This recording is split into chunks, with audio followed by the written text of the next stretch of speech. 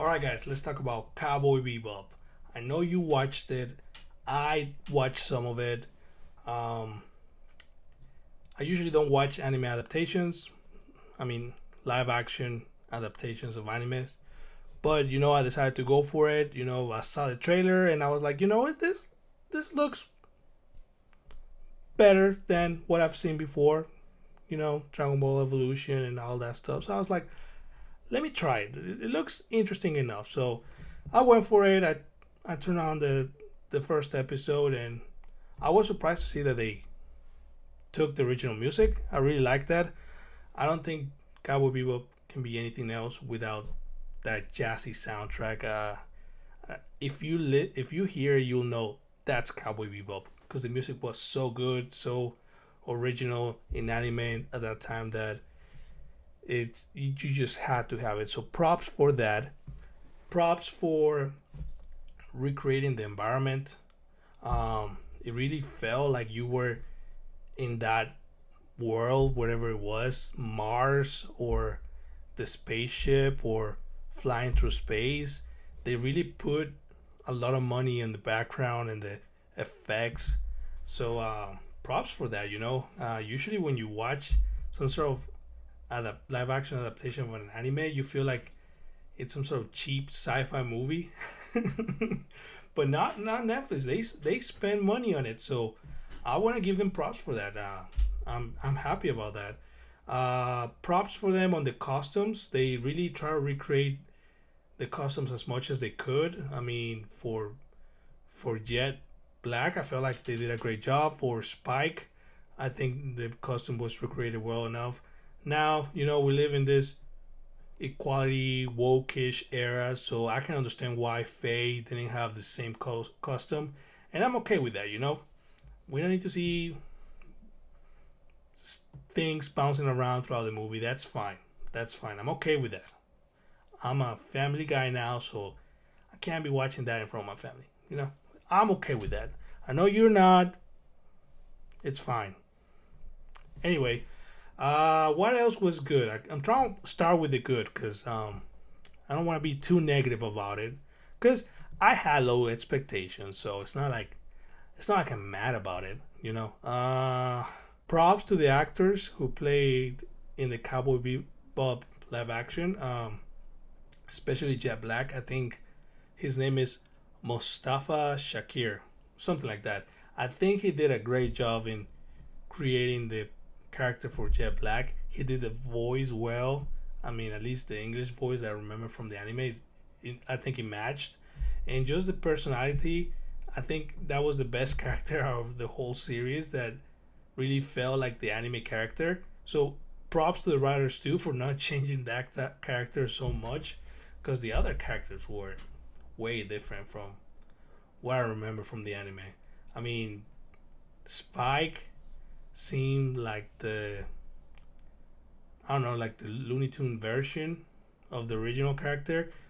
You take all the coolness out of Spike and then make him silly looking and and and and that's what you have.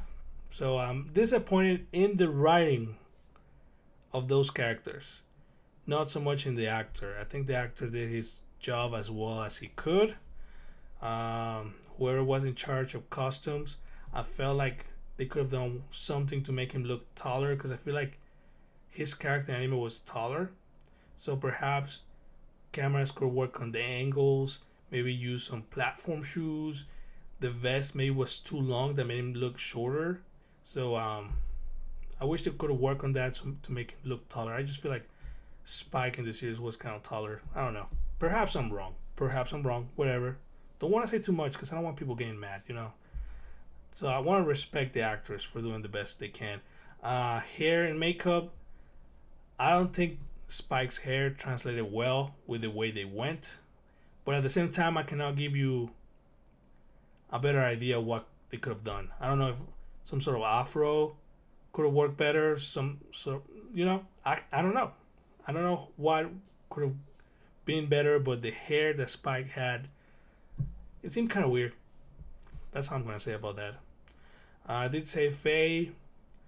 As far as the character didn't feel like the original, it was like a different completely different person, but I really like her charisma, her jokes, the way that she was written. I really liked her. I think she was entertaining enough.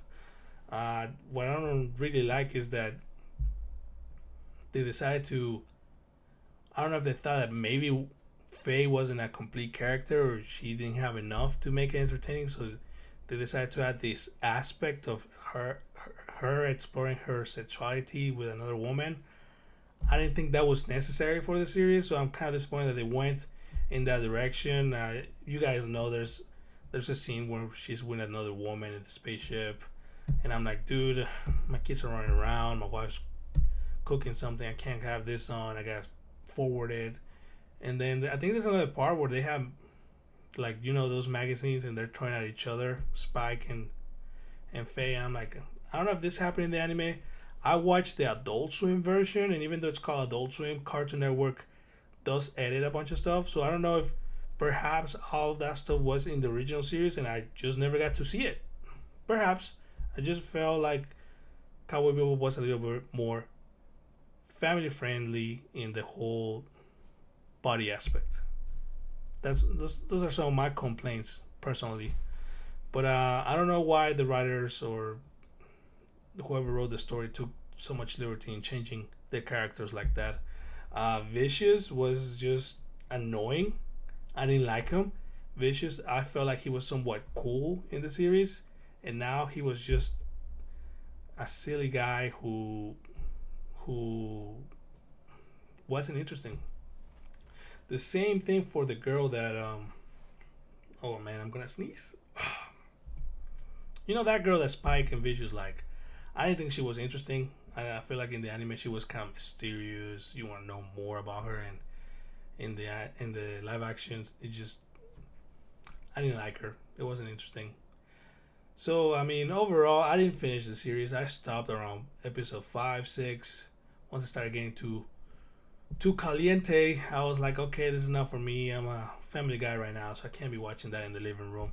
You probably are young and have your own room and you can watch whatever you want. I can't. And I'm expecting Cowboy Bebop. I'm not expecting something else, so that's why I was disappointed. But um, overall, I think it's an improvement on what where live action adaptations should go towards too. Because I really like that the the world was done well enough. You felt like you were there. The the um, overall the the costumes were done well. The music was done well so we're advancing into uh, a better hope for live actions, uh, but there's still a lot of work to do. Uh, I'm not very excited about the One Piece live adaptation, but I mean, I know I know there's a lot of fans that are hoping it will be. You guys tell me, what did you think of Cowboy Bebop? Do you have a lot of hope for One Piece? You tell me. I want to hear on the comments. Thank you so much for watching. Bye.